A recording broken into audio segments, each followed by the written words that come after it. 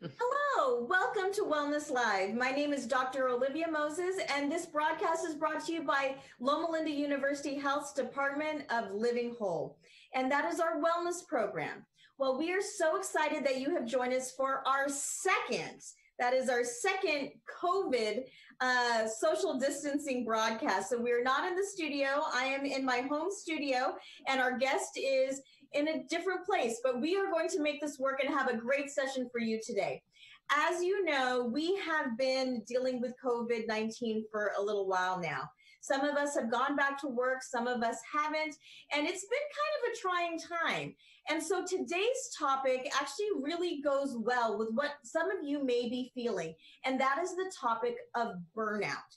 So our special guest today with, with us today is Dr. Katia Stoletniy. And we are so excited that she is here. She is a psychiatrist here at Loma Linda University Health and she is the medical director of substance use recovery and the wellness program over there. And so she is the perfect person to actually talk to us about burnout and maybe some of the things that we can do to maybe help get back on track. So without further ado, I'd like to introduce you to Dr. Stoletniy. Well, hello, everybody. I'm so excited to be here and share some time with you. And this is a topic I'm very excited about. Um, so let me pull up a little bit of information to share with you all. And we can get started. Can you tell me, Olivia, you see this?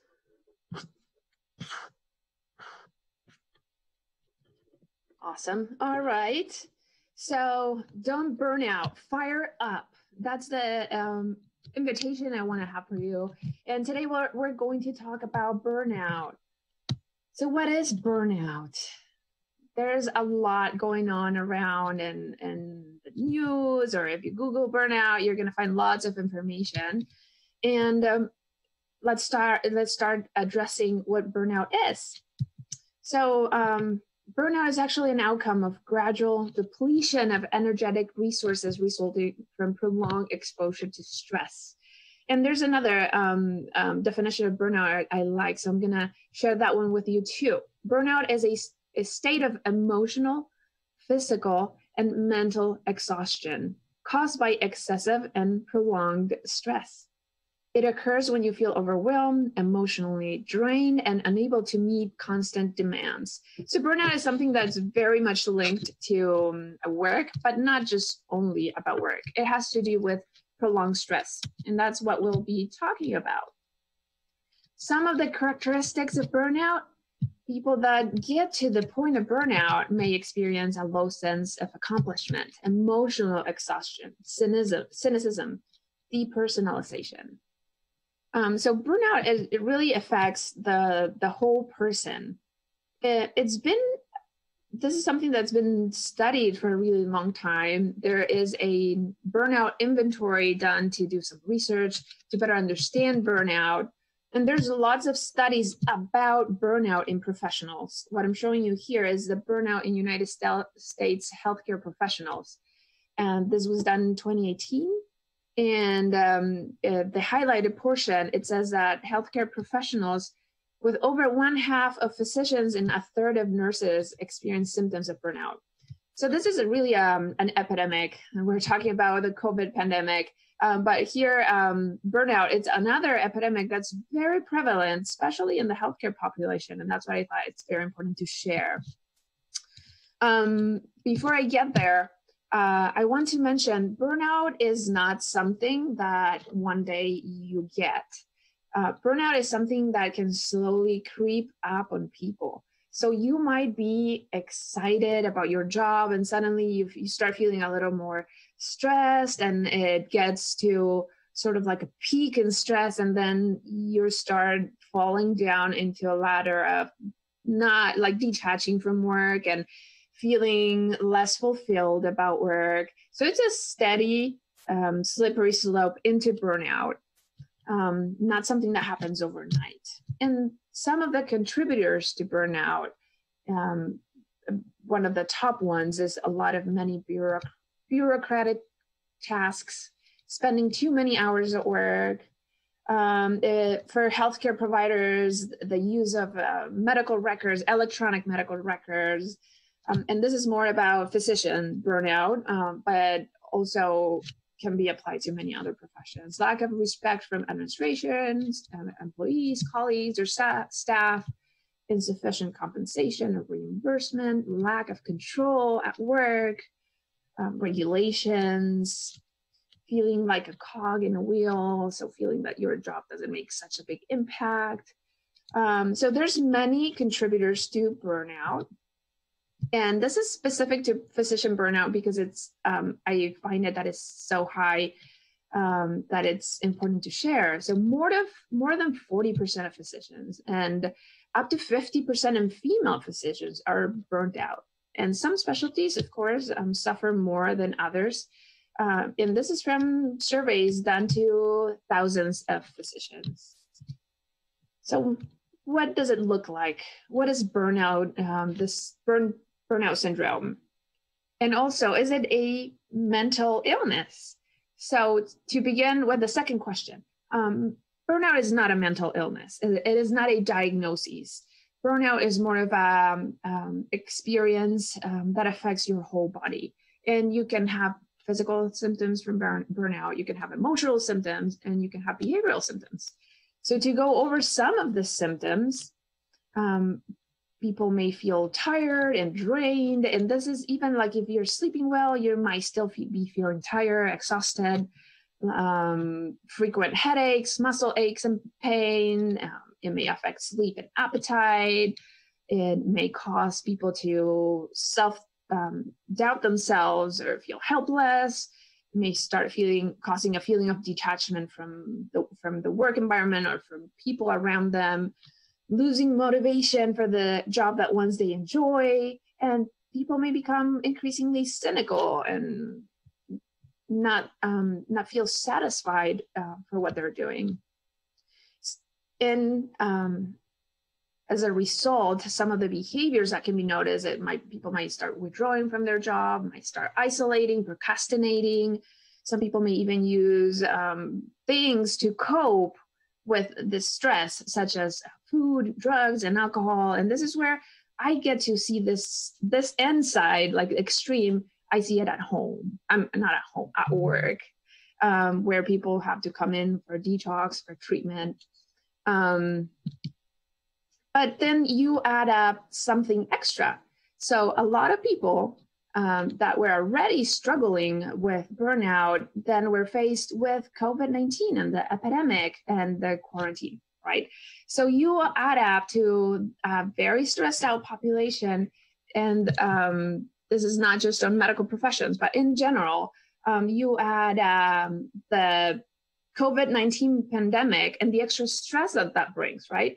So you're adding um, the stress for finances. Is my job safe? Am I going back to job my job? Are the kids going back to school? I'm getting, I'm driving myself not here with the kids at home, and all these extra stressors that come from um, COVID 19 and um, burnout gets this um, boost and it's now stress on dynamite so burnout affects mind spirit and body and i want to um, share this quote um, from alexandra michael or michelle that it says it's a mistake to assume that burnout is merely an emotional response to long hours or challenging job rather mounting scientific evidence shows that burnout takes a profound physical toll that cascades well beyond our professional lives.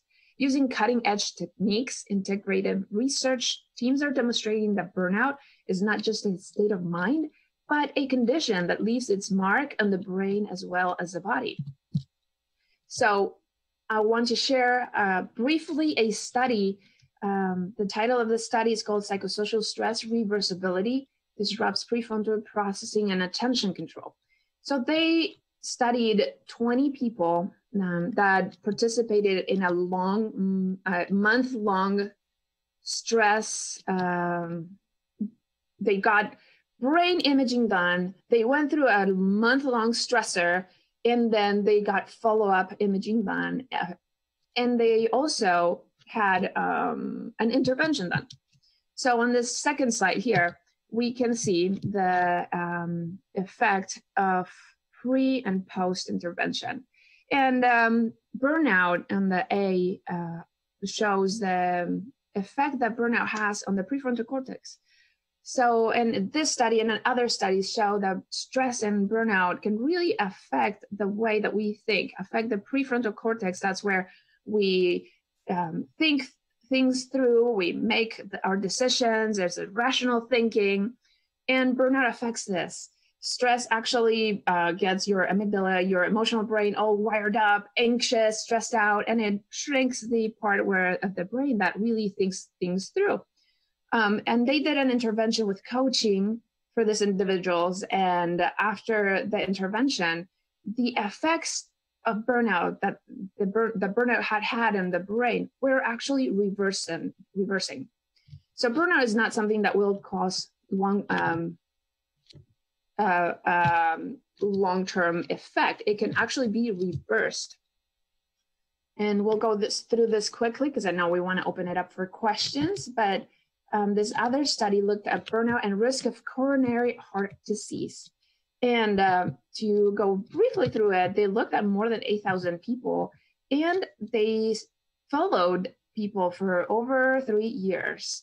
And in the end, for the conclusions, burnout was found to be an independent risk factor for future incidents of coronary heart disease. What is this telling us? If you don't do anything about burnout, you are adding your an, an extra risk factor for you to have even things like pretty bad, like coronary heart disease, that can lead to like a heart attack, stroke, etc.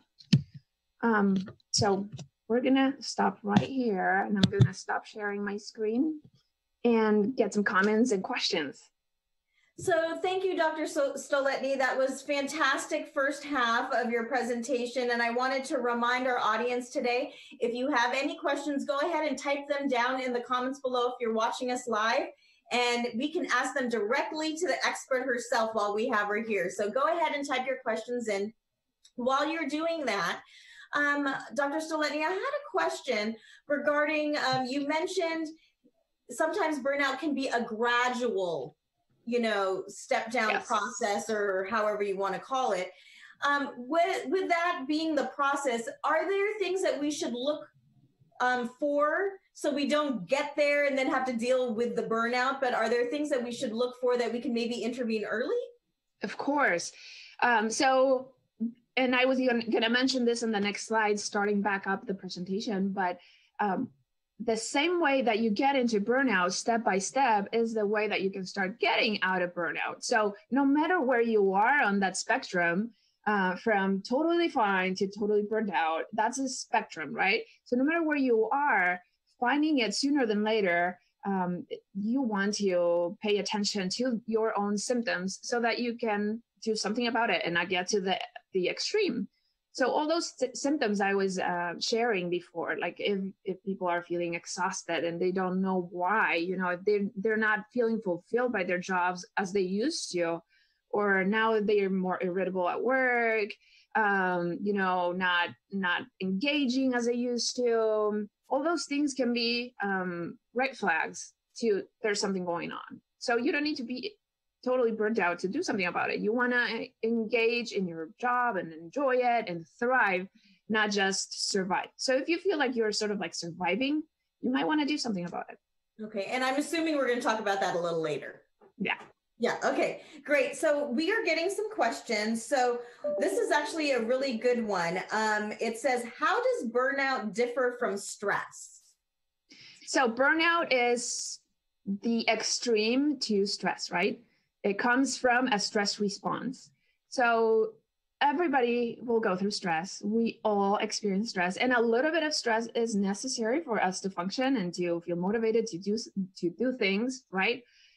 But in that scale, you may say, in the stress scale, there gets a to a point where if somebody is on stress mode constantly, then your body starts being affected. And we can talk about physiology. There's a sympathetic nervous system and parasympathetic nervous system. And if you're constantly in over mode, overwrite mode, your brain does not get a time to relax and unwind.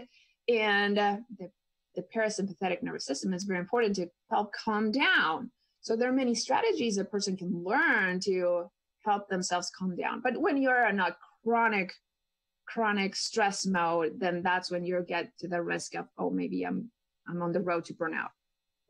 I would assume that, you know, I think you talked a lot about physicians, but really anybody can get burned out, right? You know, we, a lot of people have stress, and I would assume a lot of the symptoms are exactly the same. People are people kind of thing. Yes. And then with that being said, um, as these, you know, as you see the progression happen or you're feeling these things, what are things that that you can look for in others? Are they the same things? How do you address other people? You know, like maybe it's your loved one. You know, you see yeah. these things start to happen. How do you even approach a spouse or a parent? Well, um, same thing, right? Uh, keeping an eye for this type of symptoms, for this type of red flags that might be happening, and reaching out. And in one of the first few slides that we'll talk about, we'll talk about exactly this the connection and the importance of having a good connection with somebody trusted. Um, because that is one of the first things that a person can do. So we'll talk a little bit more about it next. Great. So one more question before we get to your second half, and I think this is an important one. So I'll stop here with this last one: is can children suffer from burnout? That's a good question. Um, I would say probably yes, but then we're also getting into um, trauma and, um, and, mental health illness or traumas, uh, traumas or stress related responses. So I don't want to speak about children because I haven't done the research enough, but I would assume yes.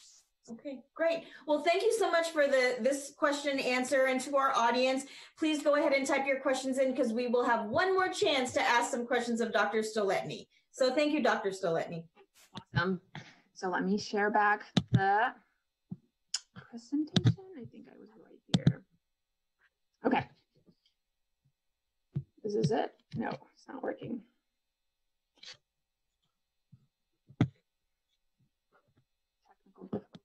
back to this one. All right. So here we're going to talk about, it's not working? Yes. The good news. So what can we do about burnout? So first thing is awareness. And by just considering, do I have burnout? Do I have the symptoms? You're already taking the first thing. So that is one of the biggest things. Awareness opens your eyes. It makes you consider what am I going through. And um, once you open that door, then you can decide what can I do next. Um, Framingham study, you may have heard of this. This is a hard study that's been done since 1948. They initially started with like 5,000 people, but they are now on the fourth generation of participants. They're looking at lifestyle. Part of the study looks at what leads to happiness. And some of I'm just going to go straight to the conclusions. Some of the conclusions um, include that people's happiness depend on the happiness of connected others. So one of the main conclusions on happiness is that if a person has one trusted another person that can be a family member, a friend, one other trusted person, their likelihood of happiness is much, much, much higher. And, and they are healthier people as well. Um, there is this three degree rule. Um, if you may have heard of uh, obesity and smoking. So if you are surrounded by people that um, have obesity or that are smokers, even if they're like a friend of a friend, they can still impact you and get you at a higher likelihood of smoking or being obese. And that happens if you have a friend of a friend of a friend that smokes or has ob- obesity. Same thing happens with happiness. If you have happier people in your life, even if they're friends of friends, or even if they're friends of friends of friends, they still impact your likelihood to be happier and to deal with life better. So, happiness is a collective phenomenon. And this is where I go to my tip number one, which is find a friend to reach out to and talk about what you're going through. Um, so a few years back, I uh, was experiencing some burnout myself, and uh, I had a friend at work that I started talking with. funny thing is, when we started talking about what we were going through, neither of us expected that the other was going through the same thing. In reality, she thought I was thriving and doing great at work, at home with my kids, everything.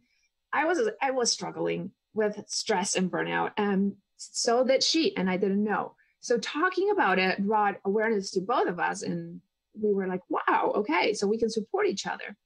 um, that led to her inviting me to a conference where this was exactly what was addressed and it started shifting my experience at work and my ability to cope and deal with stress so this i want to bring from kobe bryant um, he had this definition of greatness which is to inspire the people next to you when you inspire someone they will inspire someone else, and the cycle of greatness will continue indefinitely.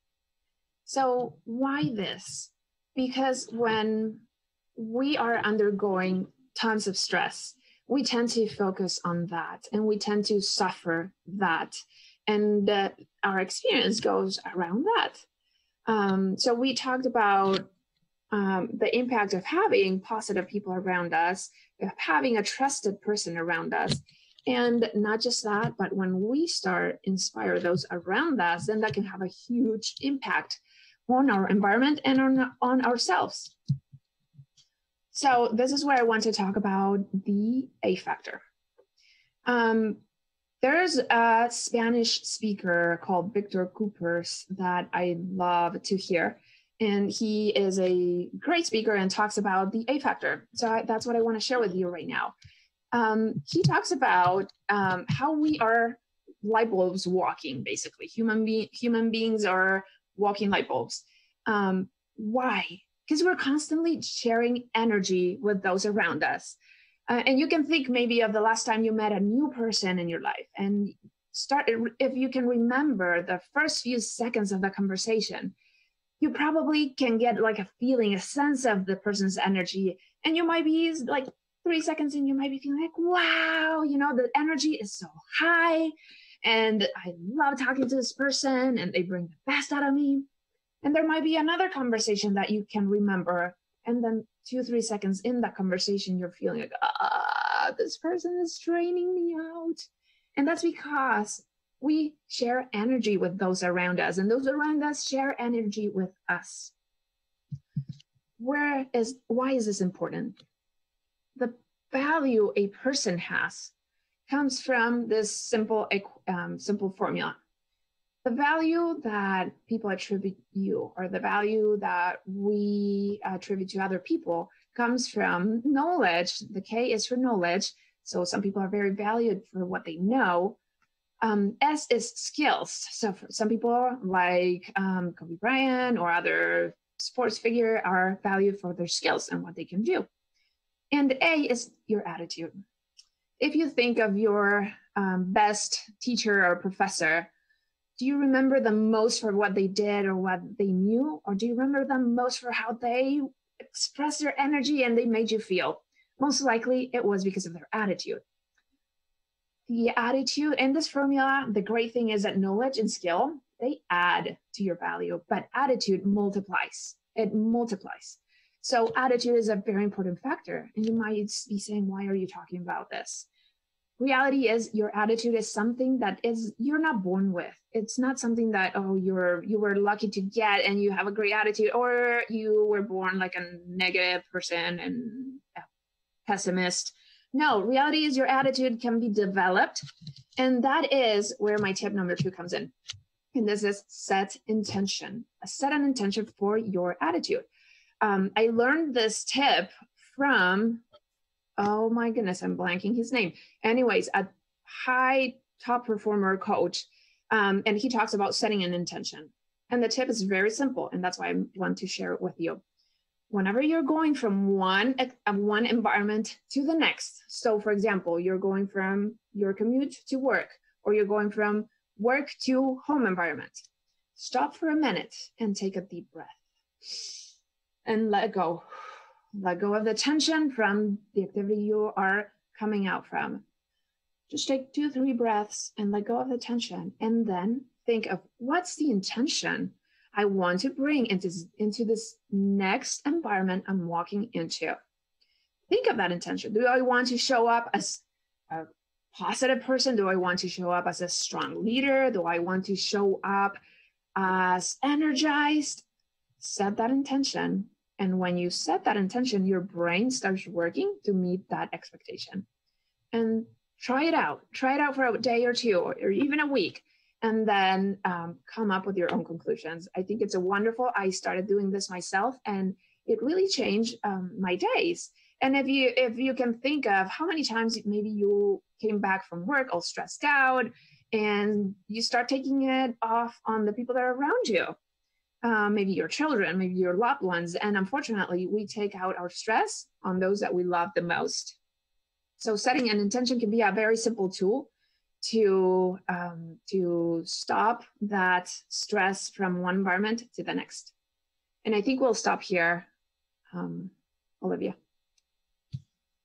Thank you. Um, thank you so much. Uh, that was really, really helpful. We have some questions that we want to get to, but I love the just a comment from from me personally. I love what you mentioned about your so let's go back to your title about mm-hmm. let's not think about it as burnout let's fire up and exactly. to me that title basically says that um, your perspective is very important yes and yes. perspective can change and it can be honed and it can be developed and yeah. what i think is so empowering about your title and the talk today is that burnout does not have to be here to stay if you are burnt out, if you are stressed out, whatever you want to call it in your personal life, it is something that can be transformed and we can actually change and get better. Exactly. And really find life important. So I think that, I mean, um, and self-care is really important. So I love, I love that topic. We had a question. Um, the actual questions are what are good treatments for burnout other than reducing work hours? And you talked about, you know, be intentional and to talk. But I do think, are there any others that you kind of want to mention um, to answer this particular question? So I wanted to think of something easy and practical to like, you know, that people can start doing right now. But reality is there's many things that people can do. And it also depends on what type of stress they're undergoing, um, what, you know, what type of environment they work on um, and what tools they might need. Some people might need um, to go to therapy. Some people might need to do coaching and learn skills to deal with stress. Um, so uh, I can tell you this is the road out of, um, of burnout, but I can tell you that there can be small steps that you can start taking on a daily basis to improve the way that you feel. Um, so self care. You mentioned self care, and I think that's very important. So and the sh- when you start shifting your mind from um, just surviving into more of a thriving um, mindset mm-hmm. it slowly starts making a shift that self-care becomes something that's important and that's it it just needs to happen it's a priority right when um a lot of people feel that you know i need to change my job to to get away from stress and burnout reality is maybe you don't maybe if you start working on your mindset and the self-care and prioritizing things that are very important for you, you maybe you can go back to enjoying your job. Uh, it doesn't mean that it necessarily is cutting back on hours. For some people, yeah, because there's people that work way too much. But um, for some people, it might be that no, you need to start making this small changes um, that will lead to a healthier way of life if that makes sense. Yes, no, that absolutely makes sense. And one of the things that you also mentioned was you have to pay attention. And I think that's what a lot of us just don't do. We're kind of in survival mode. We're just trying to get to the end of the day yes. And trying to hopefully get some sleep so we can start it all over again yes. tomorrow. Yes. And we don't kind of stop and take inventory. Do you have any tips on questions we should ask ourselves or how do we take inventory? What's a good way to take inventory of, of our life? So recently, I was um, I did another presentation of on a similar topic, and we were talking about two very important questions to know if you are living a life aligned to your priorities and values. Mm-hmm. And these are two very simple questions, but if you really pay attention, they can tell you a lot about how you're living your life. So, question number one is, what is the most important thing in, in your life? And this um, this can be thing or things or people, right? Um, so when when you have that down, when you know what your priorities are, question number two is, how much time do you do you spend in that? Um, so same thing comes back to your job, right? What's my priority priorities and at my work, my, on my job, and how much time do I get to spend in that? Because maybe you know there's a bunch of committees and meetings I'm going to that are not necessarily aligned to what um, my goals and priorities are at work, but I end up saying yes to everything, right? So maybe taking an inventory of what what I'm doing and what is really aligned to your values. And then values it becomes another big thing, right? Which is a whole another topic. no, but that's great. I think those mm-hmm. two are very, you know, they're very um, short questions, but very complex. Yes. You know, to kind of weed through that. And I think they're very important questions for us to ask ourselves. And this this topic is I could talk to you all night about this topic. Yes. Oh, me too. you know, have experienced some sort of burnout before. And you know, um, our YouTube audience is having some really great responses to your talk today. So that's even real exciting. But one of the things that I wanted to talk a little bit about is you said that burnout was a little bit more, it was more severe than stress. And then there's probably a step after burnout as well that is more severe that maybe you need to start talking about a professional intervention that maybe yeah. the self-care um, might not be enough. Can you mention that and maybe um, talk about what that looks like when maybe we should you know call someone or solicit help? So, so burnout is a response to stress, to um, prolonged exposure to stress, and uh, um, in the end, burnout can lead to clinical depression as well so not that it will but if if somebody is maybe predisposed or you know um, chronic stress itself can lead to a clinical um, scenario of uh, clinical depression mm-hmm. so um, it definitely um, this is not um, the difference between burnout and depression sometimes might be uh, might need a professional to to help guide where are we and what type of modality of treatment might need.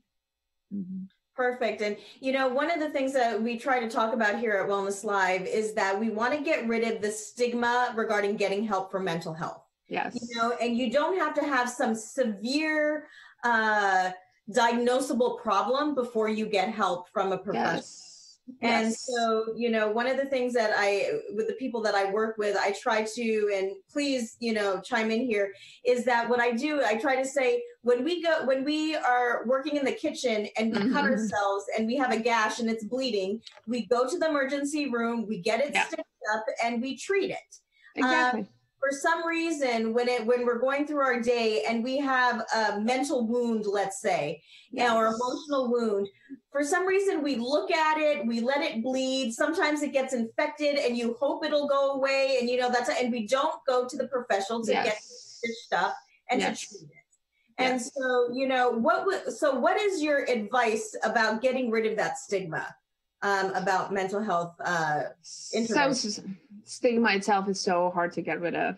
Um, my, I encourage people to take care of their mental health even before you get to mental illness because prevention is key right? So if you're developing a strong mental health it's going to be harder to get to mental illness. But um, it's a spectrum also right? So there's um, health to illness and there's that whole spectrum. And no matter where you are finding um, somebody to help you and support you and give you tools to get better and thrive. I think this is a long lifelong journey. Mm-hmm. i don't think that well i think everybody could benefit from education and emotional intelligence um, and it doesn't need to be an injury that you need to fix. But getting yourself um, help or education in emotional intelligence can be really really really an advantage to live a life and thrive in life and not just survive. Mm-hmm. And it could be very transformational.